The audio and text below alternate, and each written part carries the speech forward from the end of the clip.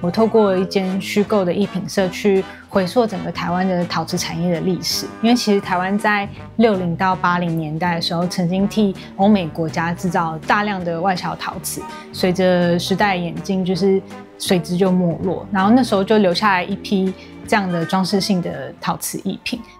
然后我无意间收藏到这个艺品后，就开始很好奇这个艺品的历史，所以我就展开一些的研究跟考察。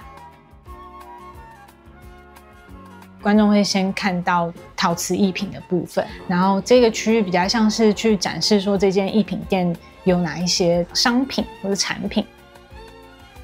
就他们的造型其实非常的特定，通常很卡通化，然后脸上会带有很特定的妆容，因为太容易被仿制，所以它其实是一个不断被复制的一个状态。我用品种动物的方式去比拟这些异品动物，帮他们做分类，可以看到他们彼此之间那些很相似相异的地方。他们可是大有来历。后面是露露艺品这支影像，一个像广告的伪纪录片，把这件虚构的艺品社描述整个生产的过程，然后去解释要如何去照顾这些艺品，然后那个照顾其实就跟人在面对动物的某种情感其实是很贴近的，就是动物的艺品其实是某一种人性化，然后很理想化的状态。这些小玩偶有些是瓷的，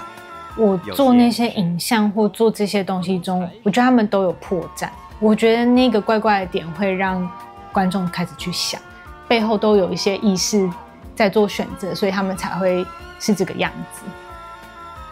然后我觉得化妆这件事情很像是，那是一种表现漂亮的方式。我是透过这个妆容去展开这所有的研究跟所有的观察。